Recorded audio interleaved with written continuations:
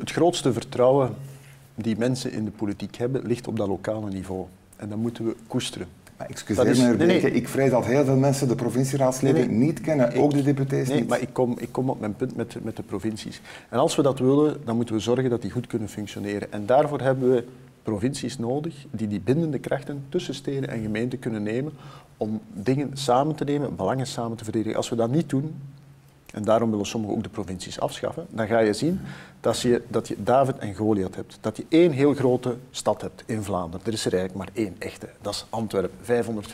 550.000 uh, inwoners met een enorme kracht en economische uh, power, waar Vlaanderen ontzettend veel uh, ook investeert en terecht. Maar daarnaast zitten er dan 300 kleine Davidjes.